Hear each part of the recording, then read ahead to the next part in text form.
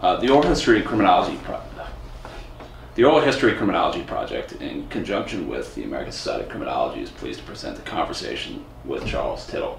We come to you in June 2012 from his office here at NC State, where you have uh, retained the title of professor since the year 2000. Uh, also, for purposes of the record here, it should be noted that, uh, well, looking across the wall here, and there's your Sutherland Award that you earned in uh, 1998. Um, um, you've um, been recognized as an ASC fellow, and you also, importantly, served as uh, criminology's editor, our flagship journal, um, from 92 to 97. So we hope to cover a lot of this within the context of uh, our discussion about sort of the life and times of Charles Tittle.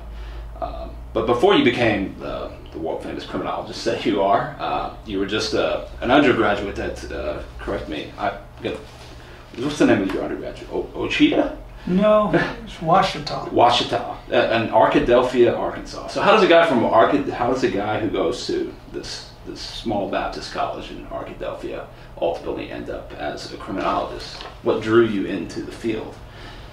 Um, well, I didn't. I didn't start off uh, with any interest whatsoever in criminology.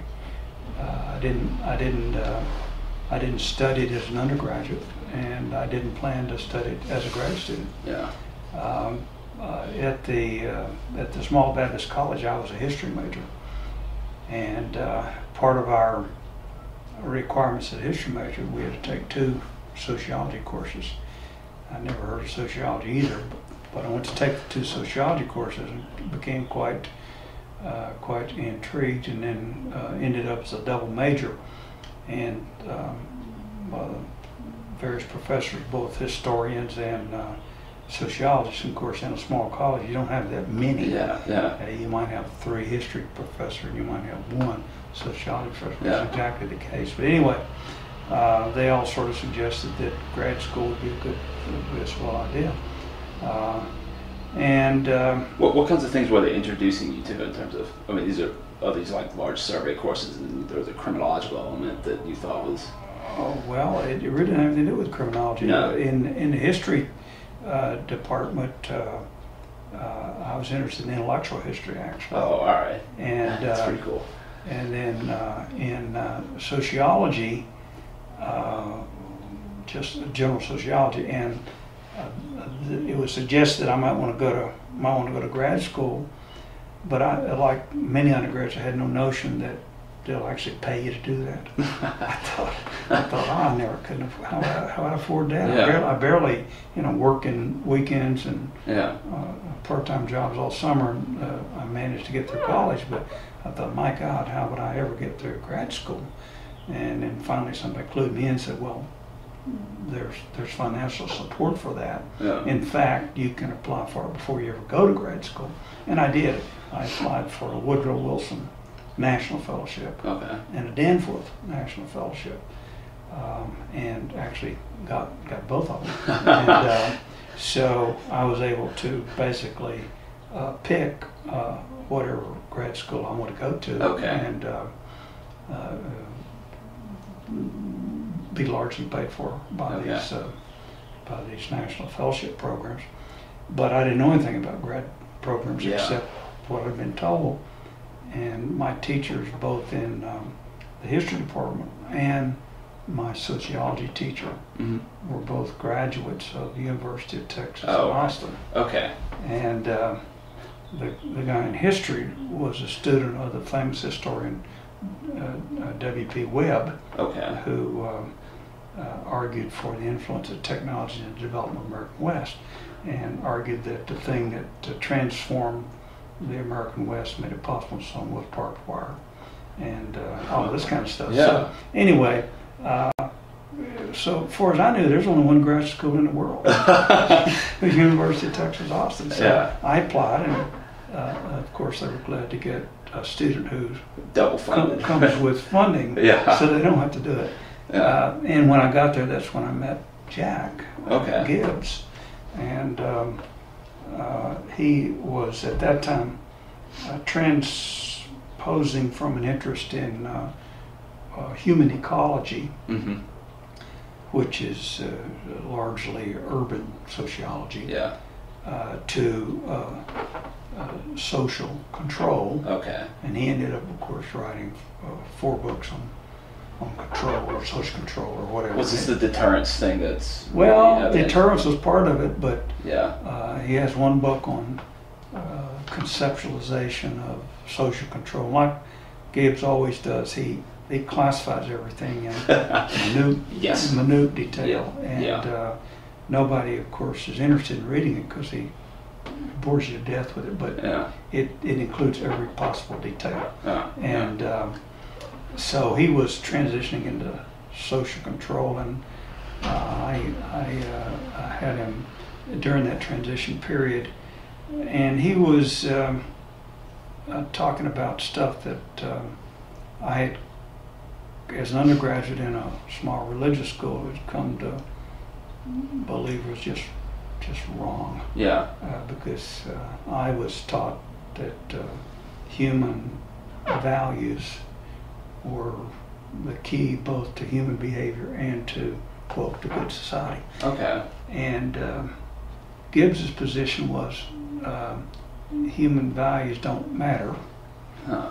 at all. Yeah. Um, structural things matter, Huh. and uh, social control matters. Yeah. That is, people do what they do because they're, main, they're, they're forced to by either circumstances or fear of punishment or, Yeah. or some such thing like that.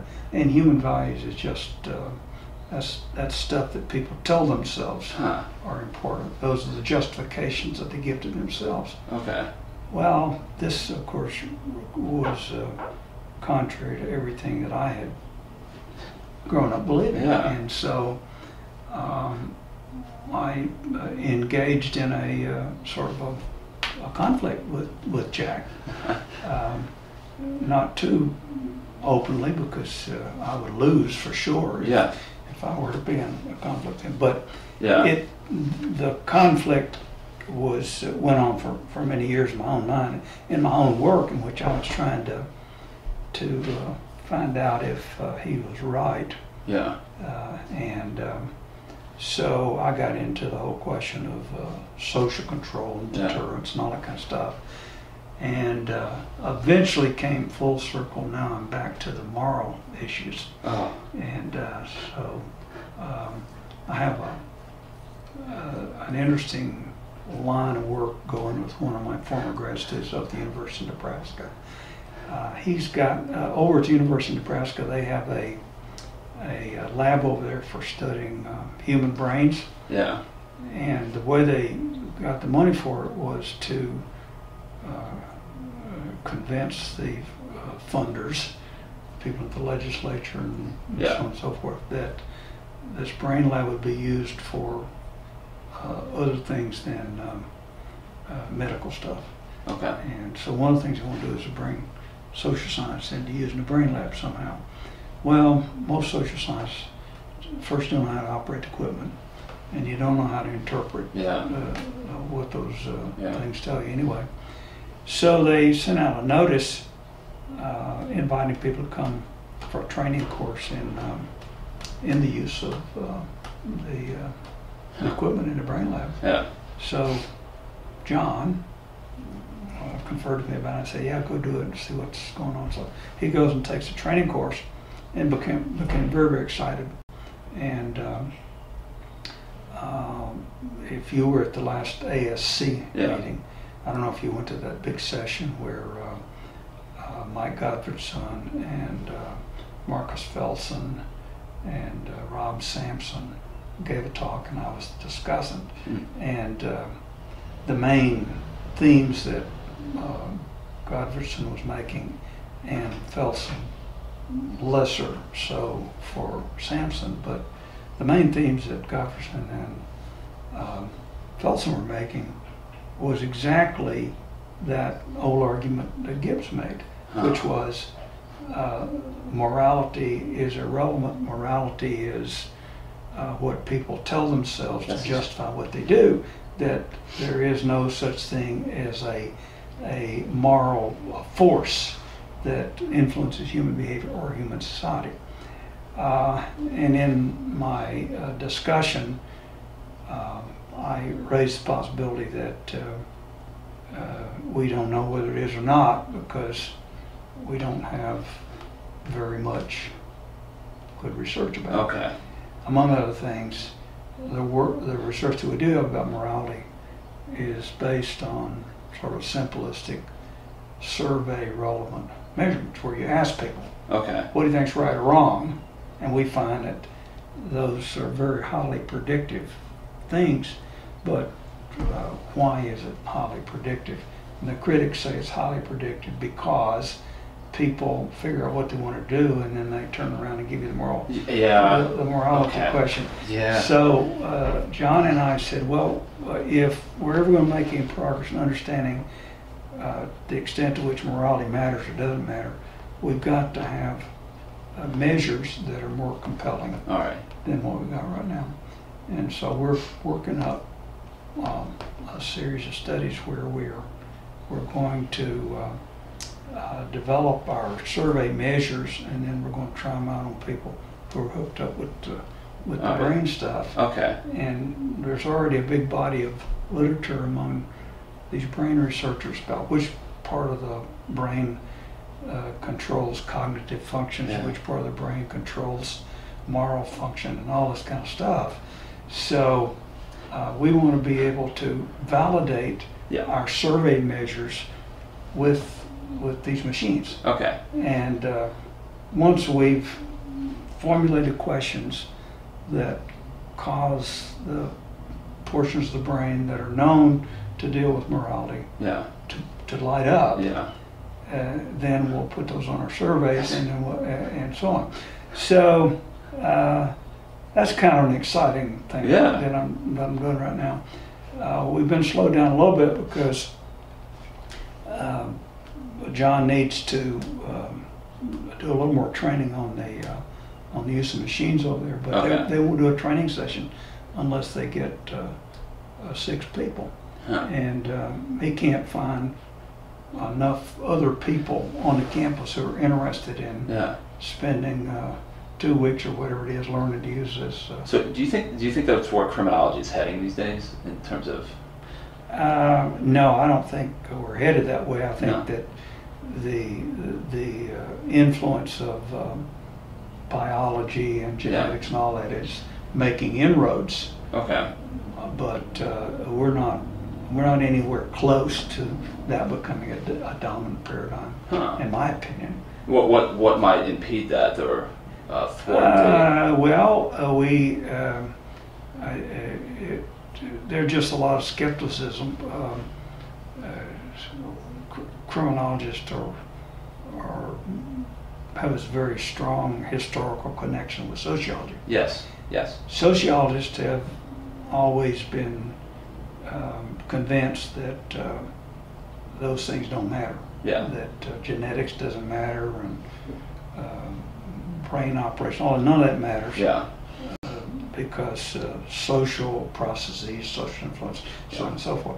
Uh, but uh, not only are they convinced of that, but they're not as convinced of it as they think they are. Okay. Because if they Yeah. were as convinced of it, then they wouldn't oppose research, okay uh, yeah uh, testing the uh, genetic component and all that. But uh, a lot of times they do, and I, I it's even up in my own department here where we recently had an episode where we we interviewed a young fellow for a job, and uh, a certain proportion of our faculty um, opposed his uh, hiring uh, uh, on the grounds that uh, he must be a racist because he uh, brought into his research uh, some genetic markers, huh. not of race, but Yeah. genetic markers for illness, because he was studying um, uh, access to, to health uh, okay facilities and who gets sick and who doesn't, and Okay. how social class and other kinds of things influence that. And uh, in his research, he had some genetic markers that would uh, um, eh, suggest that some people are likely to get well, diabetes, for Okay. example, uh, heart condition. All these things we know have some yeah some uh, uh, family genetic roots and so on. Anyway, uh, So there's still this age-old sort of antipathy toward yeah, the yeah, suspicion he, of, he, he must. of anybody's anybody's doing that must be they must be uh, you know scratch the surface and you'll find a racist Okay. of some kind all right, and nothing sociologists hate worse than yeah, than uh, racism and so the uh, but from my point of view the, the best way to deal with things like that is to confront it get the evidence Yeah. uh, judge it scientifically yeah, and uh, if it tells you one thing that confirms your belief, great. If it challenges those beliefs, Yeah. then the idea is to figure out how it all fits together. Now, this relates to something that you've been uh, uh, dealt with publicly in terms of the application of knowledge and what do we do when we find these things. And Yep. uh, you talked to us a little bit about your critique of public sociology and, and those kinds of efforts to, Yeah. Um, in terms of what do you see the Right. science's, what's Right. science's role versus, right, right. Well, um, like like every other concerned citizen, I would like uh, to have uh, knowledge-based policy. yeah, However, we don't have a knowledge base good enough to make policy on. Yeah. That's my position. yeah, Uh, and um, uh, I, if, at least my perceptual account is that we, it, I keep, that notion keeps getting reaffirmed, reaffirmed for me because things come up all the time in which um, we said we knew, yeah, but we didn't know. okay, And when somebody took us seriously, it, it turned out to be a disaster. yeah, and so um, I just uh, it it uh, it worries me that so many people out there are so eager hmm to be influenced by policy. They they want to do that, yeah, and they want to do it on the basis of a study or a couple of studies Yeah. or some such thing like that. And uh, I think that's just totally contrary to science. That uh, one study doesn't make a science. In fact, a whole bunch of studies uh, might not make a science. Um, and science is a sort of a slow, uh, grinding process Yeah. that uh, has to be theoretically driven and so on. And then the end product of that is uh, better, better, more firmly established empirical knowledge. Um, but uh, people are very impatient. People want to yeah, go out and make policy on the basis really of what they believe, Yeah. not what they know. Uh, Now, does that present a a particularly uh, compelling problem for criminology just because it has been uh, expressly oriented toward formulating a better, more humane criminal justice system? um, It's almost it rooted in its DNA. it- well, it it's a problem for sociology too. Oh, okay. All right. Uh, and before it was a problem for criminology, it was a problem for sociology. Yeah. Uh, and um, probably uh, a problem for economics as well. Oh, yeah. and certainly a possible problem for psychology. Um, but um, eh, dis- despite my critique, Mm-hmm. which uh, didn't make much difference, uh, the trend, I think, in modern criminology is toward policy learning type work. Yeah.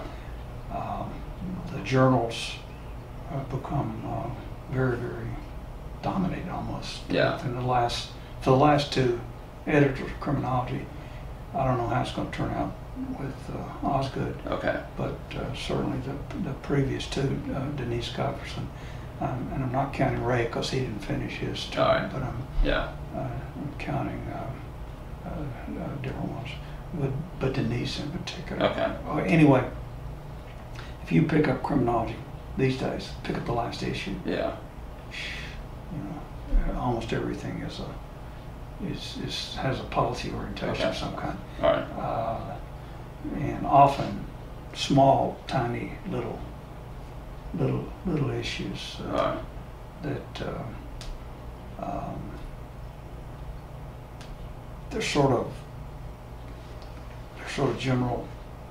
I mean, they're, they're designed to be useful for making policy. Okay. But the people who make policy don't care. okay. All right. That's a fundamental disjunct there. Yeah. Exactly. Okay. And so we, Yeah. the more we build uh, our business around these kinds of things, the more we have these little random pieces of knowledge that uh, policymakers are not going to put together. Okay. And we can't put it together because they're not driven by Yeah.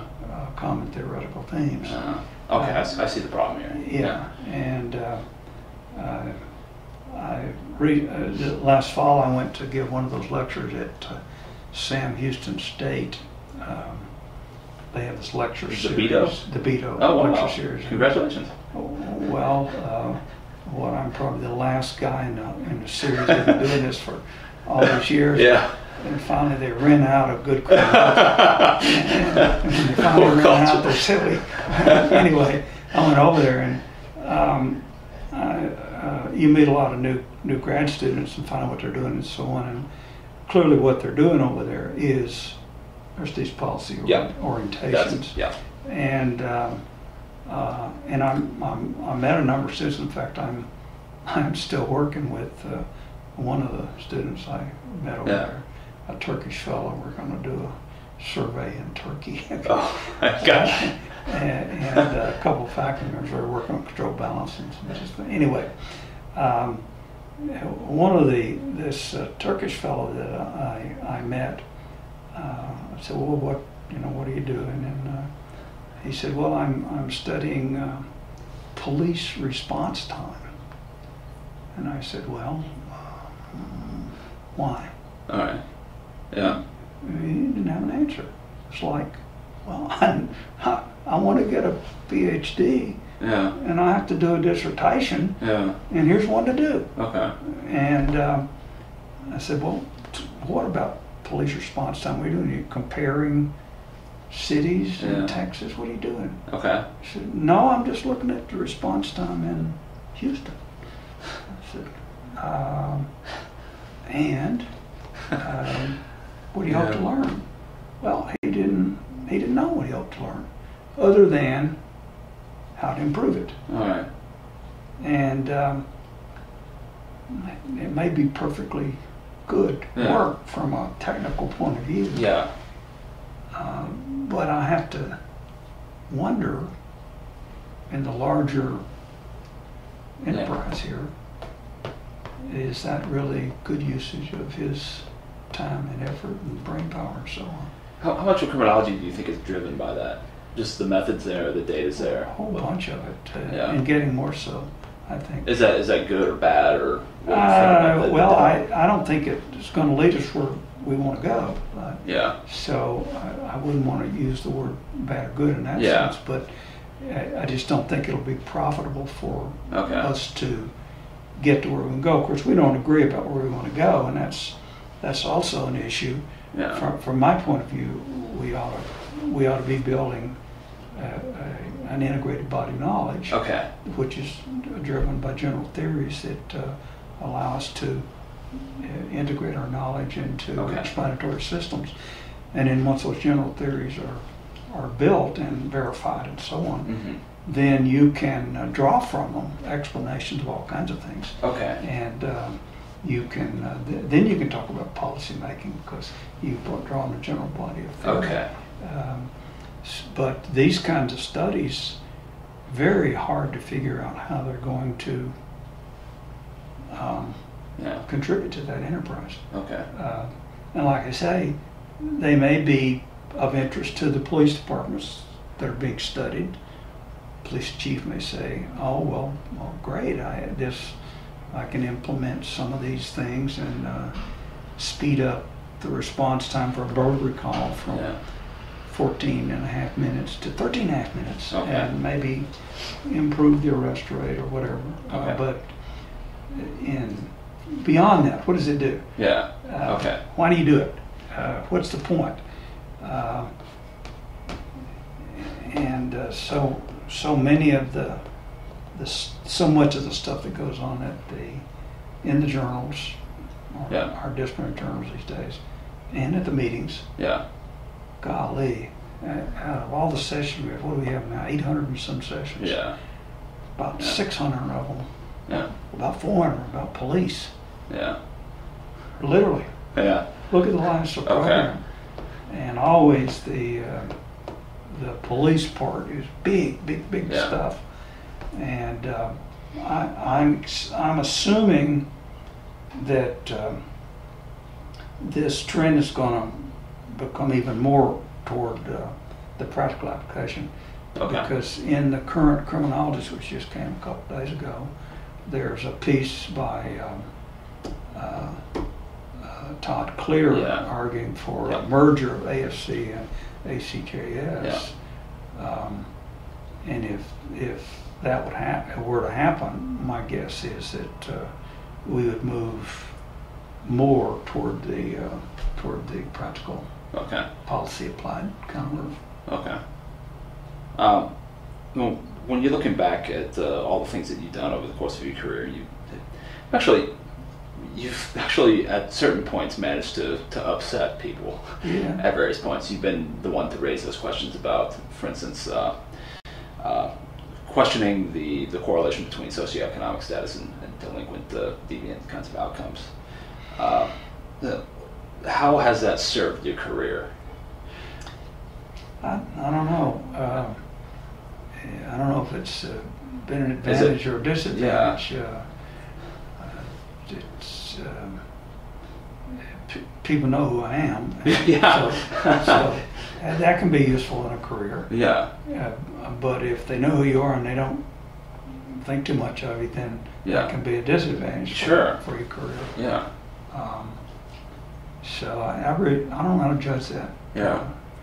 I, I'm I'm glad I had done those things Yeah. because uh, uh, it uh, has um, it, it has caused people to um, to try to uh, clarify and document Okay. the things that they normally might take for granted without documentation Okay. for, for many, many years, that's sort of what we did in sociology and criminology on the social class crime thing is we just pass along one generation next this notion without Yeah. saying is this uh, is this established with the evidence and so on and so forth.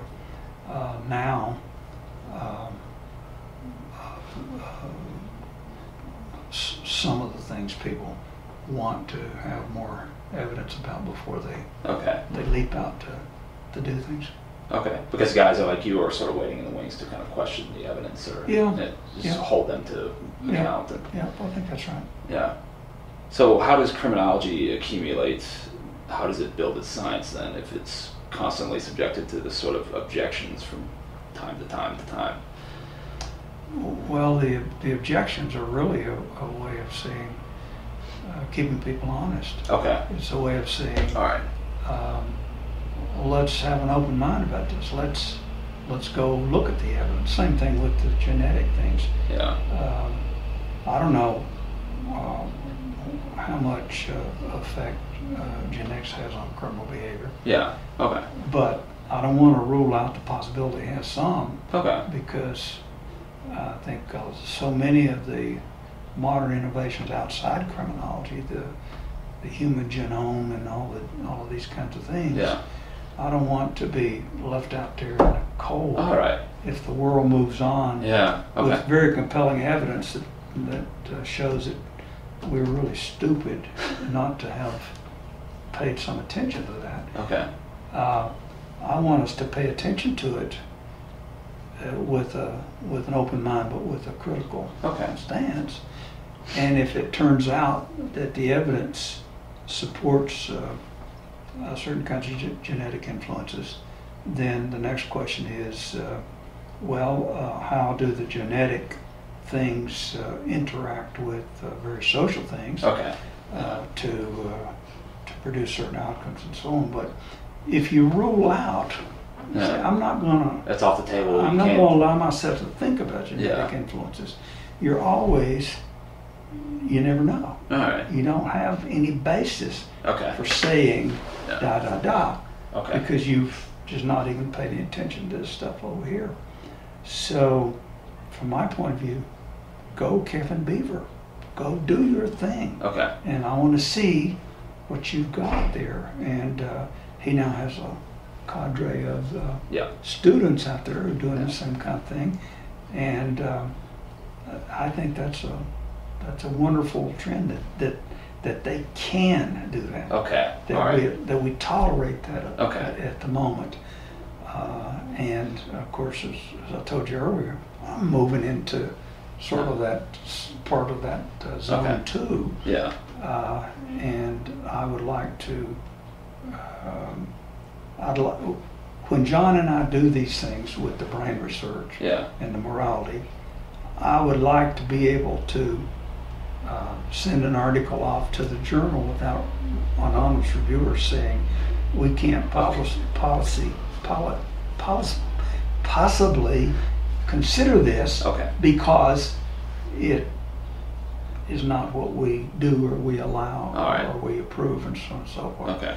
Uh, I want there to be that openness there for that as long as it's good work on scientific grounds. Okay. Uh, over the course of your career, you've, you've dabbled in a, a variety of different things as well. Like your early part of your career was uh, on uh, sort of correctional environments and things like that. Uh, do you see any commonality that, that may string all these things together? Is this all coherent in your mind, or is, Yeah, do you, or do you get bored with one thing, you move to the next, and then Well, it, How does this- it's, it, it's, uh, it, it appears incoherent, but yeah, un, underlying all of it is uh, uh, always a question of, uh, of uh, uh, the question of social order. How's Okay. it, how's it happen and uh, how is it maintained and so on and so forth, and how does it change? And if, when you raise the question of change, of course, then uh, you, you get into the whole conflict uh, thing and so on. But Yeah.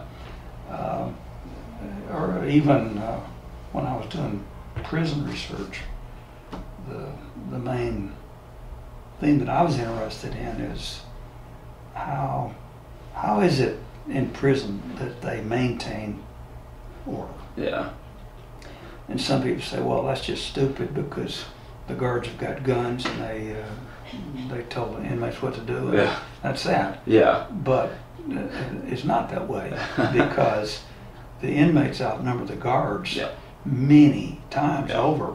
yeah, And if the inmates were organized in a mind to, they could crush the guards in them yeah, and nothing flat. So order in prison really rests on something other than strict coercion. yeah, Uh, and so when I when I went through grad school, it was Parsonian days, and Parsons was all about uh, social integration and the, the Yeah. role of uh, uh, moral morality and the Yeah. maintenance of social integration and all that. So the prisons were uh, sort of a challenge to that, and it made it interesting to me uh, to to sort of go with this eye like, well, Parsons has taught me that uh, social order rests on certain shared moral concerns. yeah, And the prison people tell me that uh, social order in the prison rests on guns and uh, force. force. Yeah. So what is what is the true story?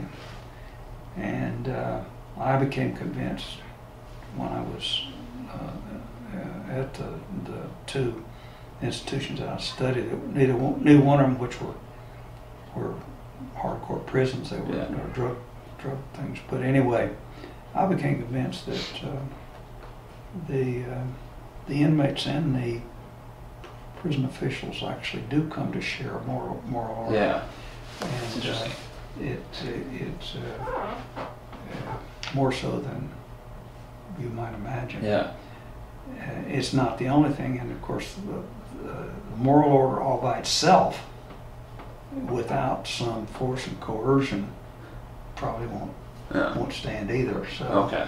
uh, but my work in prisons was to bring in the moral Okay. understanding moral order. Uh, So, it, Uh, but once I convinced myself, I didn't care anymore, so I didn't want to go back and spend a career being a penologist or something like that. Yeah. So it didn't take long to sort of satisfy satisfy myself on that issue and uh, move on to something. No, a lot, are a lot of these themes oriented around your sort of internal uh, debate vis-a-vis Jack Gibbs? Partly, they Yeah. were for years. I don't think they are now, but Yeah, at first they were. yeah, Um, and uh, Yeah. without even knowing it, Jack sort of got under my skin, and Yeah. into my head, yeah. and um, I realized many years later that uh, I was thinking like Gibbs. What's happened here? uh, now, when you look back at uh, the course of your career, are there any accomplishments? Are there any landmarks, pieces of scholarship that you look back on? And if somebody like me, 20 years from now, were teaching in a class, you would you would be proud that I would be teaching this as, as something that you had that you had authored or crafted.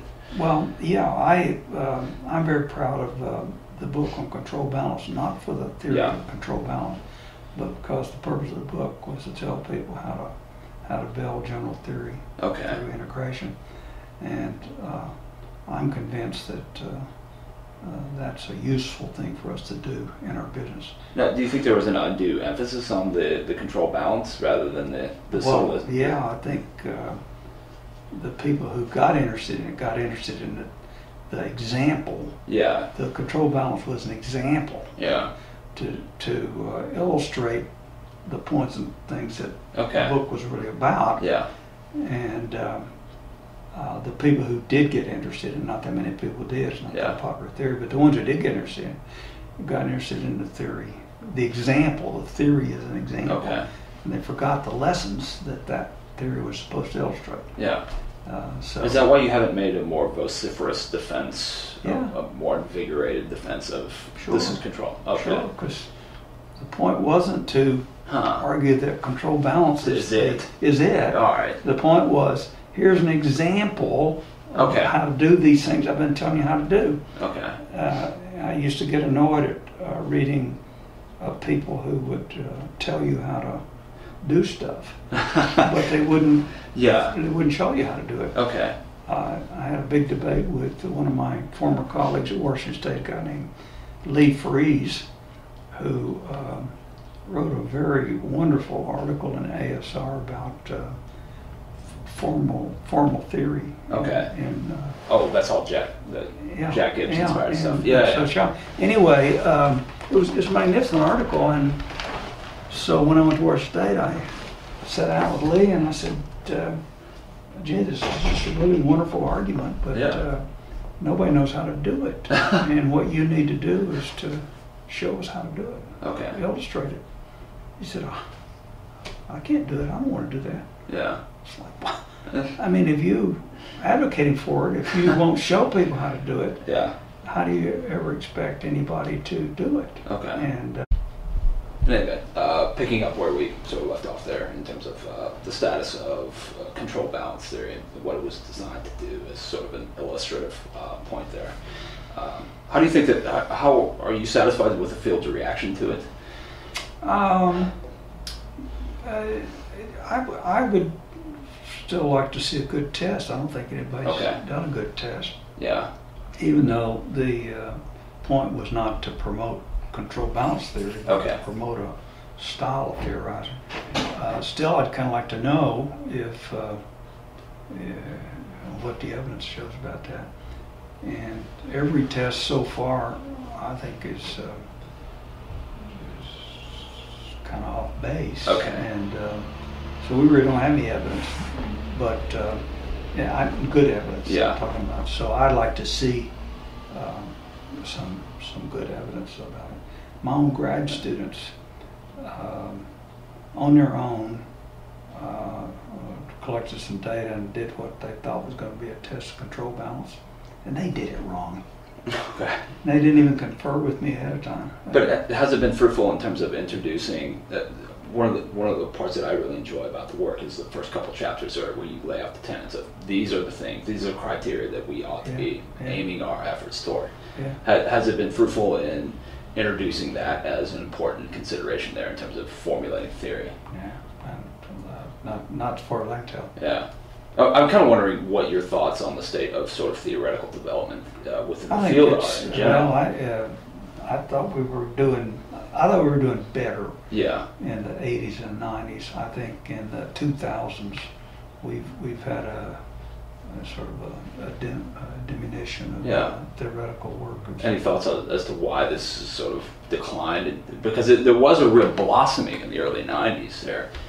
Yeah, um, That's yeah. seemed to have been curtailed for whatever reason. I, I don't know if you have any notion as to. I, I really don't know. I puzzle over it sometimes. Uh, I don't know why. I don't know why we've shifted from theory Yeah, uh, driven work to sort of problem, okay. practical problem oriented All work. right. I, I don't know what made that shift happen. Um, Yeah. I can speculate, and a lot of people do, but uh, I, I really don't know. And um, anything, anything going to bring us out of that? Uh, this seems to be a sort of a malaise or a funk that's. it, Uh, it's it's circular. I, I think whoever's the editor of the journal has a lot to do with it. oh, okay. Uh, But who gets selected as editor of the journal partly reflects Uh, yeah. what's oh, going on in the business out there. So. All right.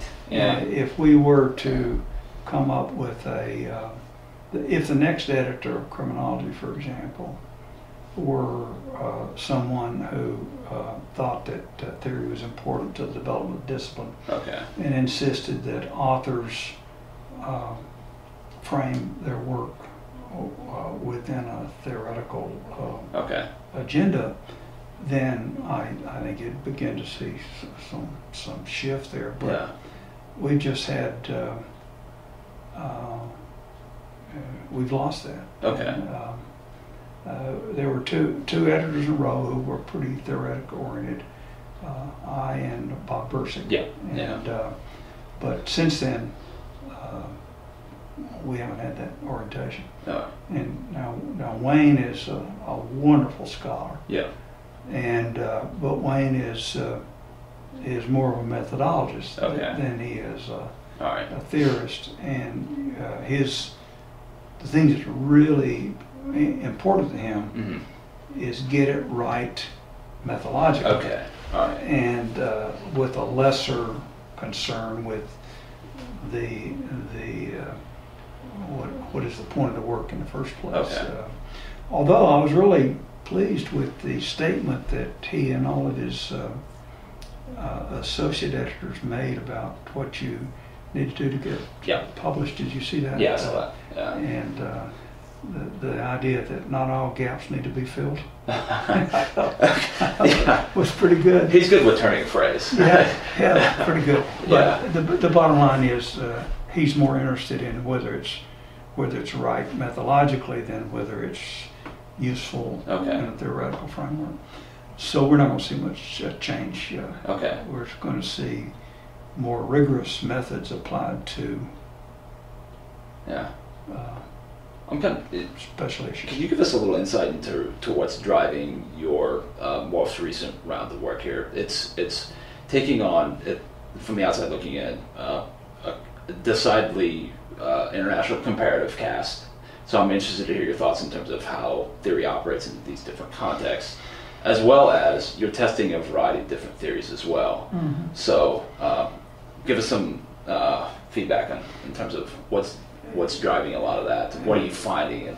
Okay. Um, Well, um, first, uh, if you believe in general theory, then you have to believe that you have to test theoretical notions in a lot of different contexts. yes, okay, Because if it's general, it's got to Yeah. rise above uh, cultural That's limitations and so on and so forth. that's fair. Yeah. So, um, the necessity and importance of uh, uh, cross-cultural, cross-site, cross all kinds of situations uh, is just absolutely essential.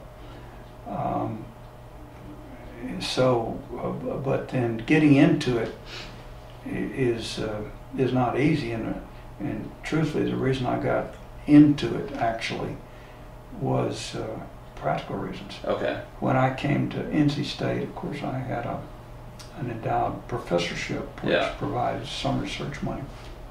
It wasn't that much research money, and uh, the economy fell apart during the process. And for two or three of the ten years I was Yeah. an endowed professor, there was no endowment, so uh, it wasn't much money to work with. Yeah. Uh, so um, I um, was looking for a way to uh, uh, do things on the cheap, and um, uh, luckily I had a couple of students who were from um, uh, former Soviet republics. Right. First, I uh, had a, a Russian woman who ended up uh, here. Yeah. Uh, and then later on, I had a, a woman from the Ukraine.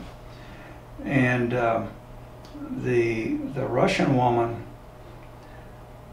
who, uh, of course, you know her name for literature now, uh, Olena Botchkovar. Yeah. Her publication name is uh, Katerina, Okay.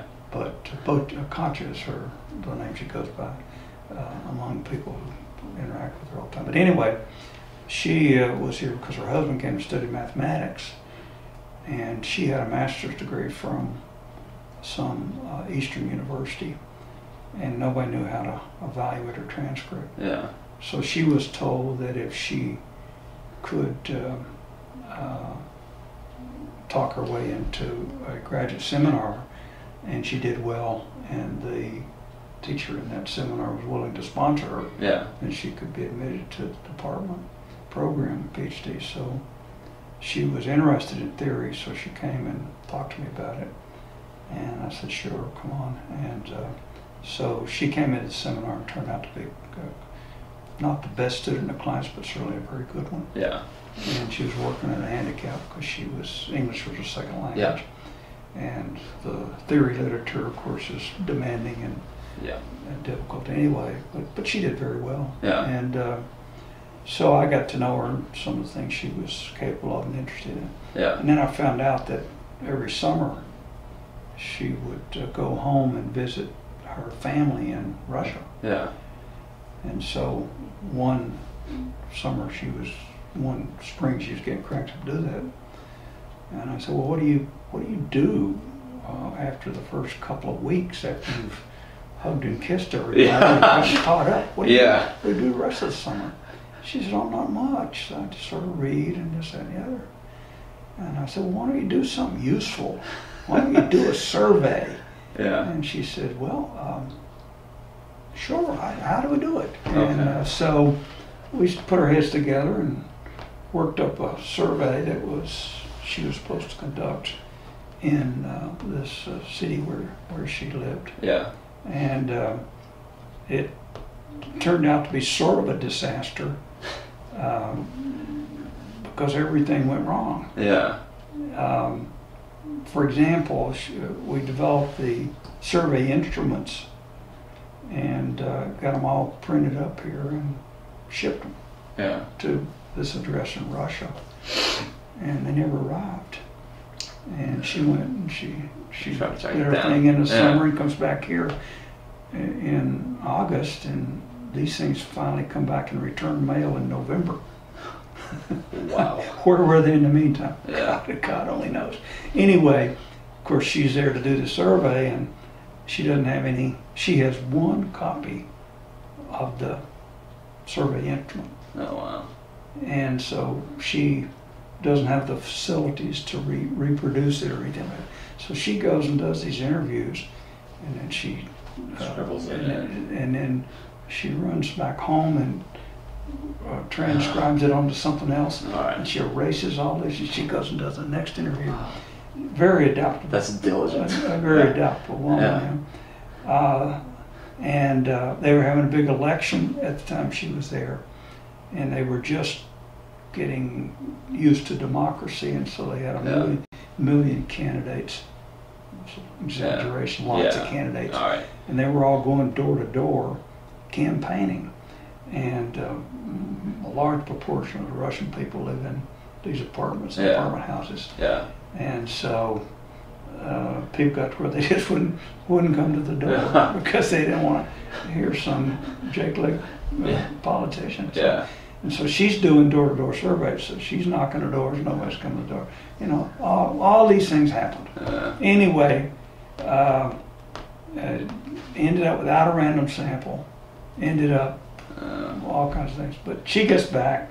She still has 380 some interviews with uh, Russians. Uh, they are not randomly sample Russians, but Yeah. they're Russians. Okay. And so Yeah. uh, we uh, we actually analyze it and send it off. We actually get three or four pubs out of this. And Yeah. So so then we vow we're going to go back and do it right, do it better. Okay. So next time we, uh, we um, find a professional survey organization All right. in Russia Yeah. that uh, has people who were trained in the United States at NORC and other places. Oh. They run these survey Okay. organizations in Russia. But because they don't have much business in Russia, unlike here where Yeah. you've got businesses and philanthropic organization, all kinds of people always commissioning surveys. Yeah. In Russia, they don't have much of that. So these survey organizations are desperate for business. Yeah. And we, we find this out, and of course, we find out that we can do, we can do uh, More with less. An interview Yeah. uh, the equivalent interview in the United States costs about two hundred dollars. You can do it for six bucks in Russia. Okay, Wow. so Yeah. I said, "Wow, here's the chance to get some cross-cultural data Yeah. that I can actually afford." Okay. And so we did the one in Russia, Yeah. and then uh, I had this Ukrainian student that comes Yeah. along. So we do one in Ukraine, then we do a comparative Greece. one, Greece and Yeah. Russia and Ukraine. Yeah. And then we've done one in uh, uh, rural Ukraine, urban Ukraine, and Okay. Bangladesh, right. urban Bangladesh. And now John Brauer, the, the fellow over at University of Nebraska, we're also cooking up a longitudinal survey to be done Okay. in Bangladesh. And then uh, this fellow that I met at Sam Houston State, Yeah. we're going to do we're going to Turkey. do Turkey. All right. Um, uh, lots of places. We we were pretty far into working one up for Armenia, Okay. but um, uh, that one kind of uh, turned out to be uh, too expensive, so we couldn't do that one. Yeah. Uh, but uh, we've done enough of them now that we think we've got the technology of how to do it. Now, is is this challenging some of the, the suppositions of conventional criminology? Or are you finding things that you know, Uh, are, well, we're finding some things that um, uh, are part of the body of so-called knowledge here okay? have been confirmed. Okay. there. So that's reassurance. Good to know. Yeah. Uh, we get uh, these uh, age crime relationships. We get um, the uh, Gender gap. gender yeah. stuff like that. Okay. Although the gender gap is not as stable as the age. Oh, age one. Peer effects, uh, Okay. Uh, religiosity effects, uh, all Yeah. these. But other things we find um, uh, are, are quite problematic. Things Okay. that people thought were um, were well established uh, don't hold up Yeah. in these places. Uh, we did what I think is the, the, the best test yet of uh, social learning theory, Mm. uh, which actually attempts to measure the reinforcement process. Okay. Uh, Yeah. Social learning theory, uh, the way Akers and his followers do it is they say there's a reinforcement process and it produces these outcomes, but we can't worry with the reinforcement process. We'll look at the outcomes and we will simply assume Okay. that they are right. produced by the reinforcement process. So you're getting And the those, so, so we said, wait a minute, you can't do that. yeah. Uh, uh, because if you do that, then um, you sort of create a. uh, tautology. okay. So uh, we we thought that we ought to be able to actually show that there's a Okay. reinforcement process here. And, and, and we did and, and confirmed it. And that paper is in the current issue of Social Forces, Okay. which uh, Yeah. I think is really just, just, a, just a dynamite, wonderful paper. not because it reveals new things, Yeah. but because it Tests. a very powerful test Yeah. of uh, of something that there must be in the literature four or five hundred Mm. studies all supposed to pre- document this, Yeah. but they don't. Okay. And, and uh, actually, we do, and so it uh, is, we're, we're really proud of it, really. Uh, right. yeah, and we, we were able to do it cheaply because we were able to do the survey and, Six bucks. and uh, yeah, six bucks in Russia. This is 48 bucks an interview in Greece, though. Okay. and in Ukraine's about uh, seven or eight bucks, and Bangladesh is about eight bucks an interview. So Yeah. Anyway, Yeah. but it doesn't take much money, and um, that's, I mean, that's the Yeah. marvelous thing to me, and that's sort of the pitch I was making when I went over to Sam Houston State. Yeah. You, with a little bit of money, you can actually get interesting data Okay. good data, and so um, out of all the kids over there, only one of them bit on this kid from Turkey. So But you- you've you've been working an awful lot lately with a cadre of, of young scholars, so you may have given some thought to this question that I'm about to pose here. Um, what kinds of advice would you give to scholars who want to succeed in this business? Um, the next, the upcoming cohorts. What kinds of things would would you suggest to them that? well, um, I would uh, I, I would suggest doing what I did for, for, for one thing. Yeah. It's, I don't think that's a, a general model for uh, for success. In terms of just the antagonistic tone and yeah, yeah, I I. Um, the emphasis I've been theory. far too, I've been too, far too sharp in uh, most of my uh, correspondence and so on and so Yeah. forth. I, I wouldn't, I wouldn't recommend that, but yeah. there, there are, uh, I, I say, go somewhere where you work with people who are, who are doing scholarship every day. Okay. Because being told that you should do it is not the same as watching somebody do it and participating in doing it. Yeah. So the graduate school you choose uh, ought to be on the basis of are there active, successful scholars Okay. there who Yeah. are contributing to the literature? Uh, because that's how you learn to do these things is by working with people who are doing them. Yeah. Can't learn it out of a textbook Yeah. or anything like that. Yeah. Number two, uh, I'd say go to a grad school where you can learn uh, the the best uh, and uh, uh, leading edge methodological techniques. Okay.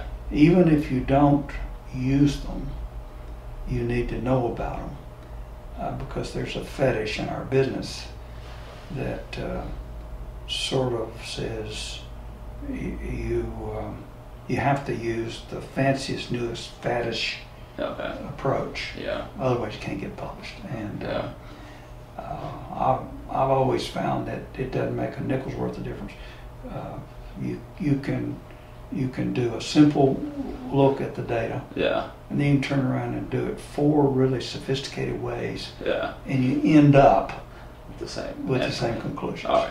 Yeah. Although the numbers might Yeah. look different, but the same overall conclusion. Yeah. So I don't think that it's near as important as uh, Wayne does. Okay.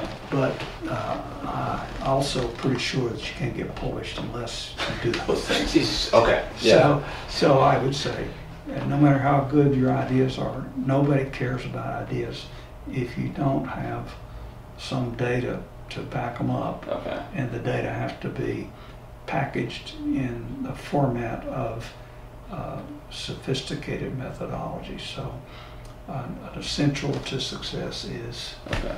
the, the, those, those methods.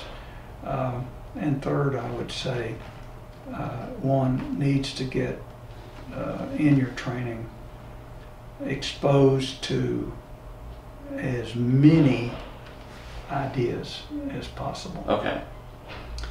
because in your career, uh, the more ideas you have to work with in the back of your mind, Yeah. the more things you're going to have questions about. And when you see new things, uh, it'll suggest research projects. Okay. Suggest, suggest things that need to be investigated and so on. Uh, So a good, uh, a good education exposure to theories and a good education exposure to the Yeah. empirical literature. uh, At least the empirical literature that contains some, something that might be applicable Okay. beyond that particular situation. Okay. Uh, And with those kinds of things and uh, motivation and hard work, Yeah. um, what else do you need? Okay. Uh, Now, crim- criminology's now has got its own sort of fiefdom at this point. You've always been in sociology departments. Uh, is there a difference between those in terms of allowing maximum a- access to these the wider palette of ideas?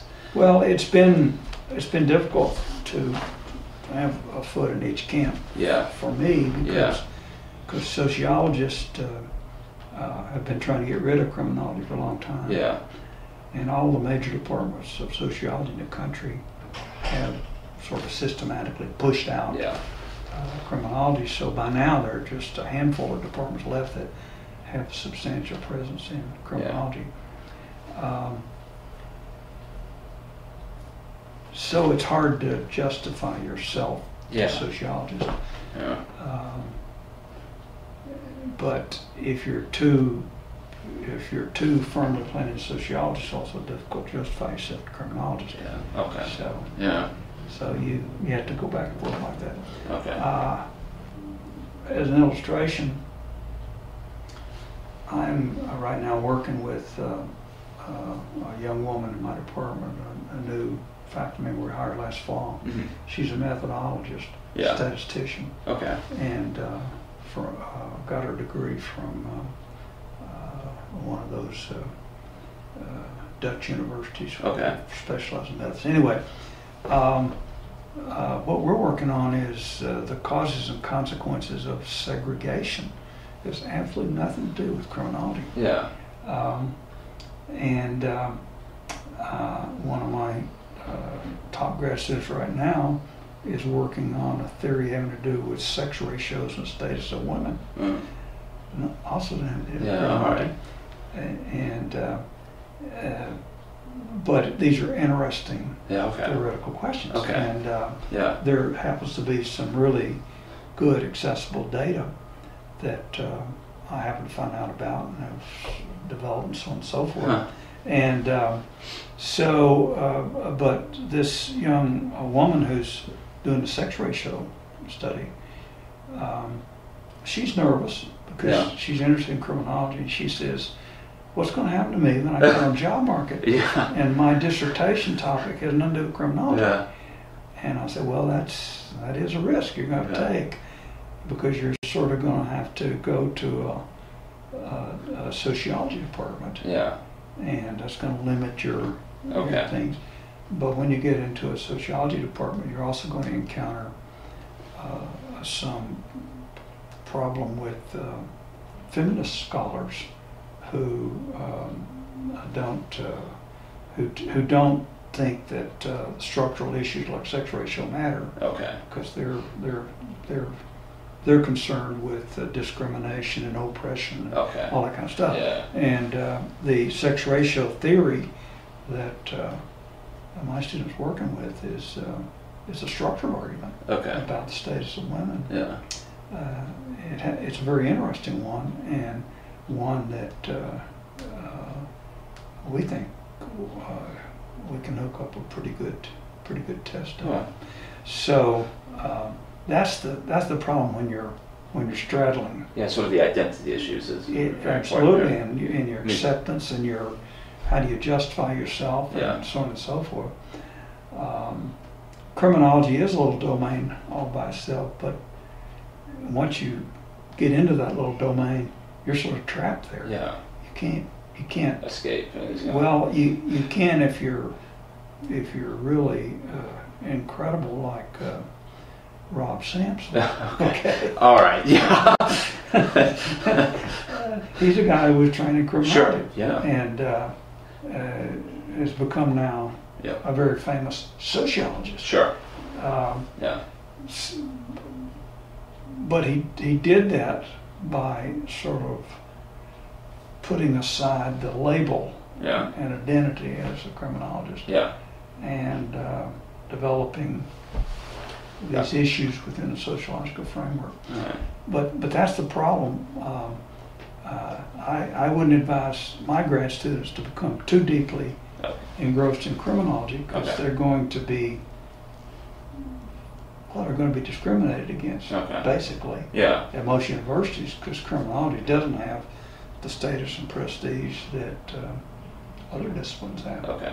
Uh, Yeah. now, sociology for a long time was the, the shit department. Yeah. You had economics and political science and Yeah. philosophy and all this, and Yeah. they're all up here and there's sociology down here. Okay. But now sociology has uh, a, a, uh, Yeah. further down the, the slope, Okay. and now it's criminology, so all that, Yeah. all that bad stuff can flow down to them as the, them in Okay. edu- schools of education. That's the only, sociology outranks only criminology in schools of education. They don't outrank any other discipline. Yeah. uh, this has been a, really fruitful and wide-ranging discussion here in terms of just getting an account of you and your your thoughts on the state of the science and some of the things that you you've managed to contribute uh, in its development and theory. And, uh, I'm just wondering at, at this point uh, if there's anything that you feel that we may have overlooked, or anything you'd like to contribute that you think uh, would be important and worth worth mentioning and preserving here, an account of. Well, I can't think of anything Huh. right now.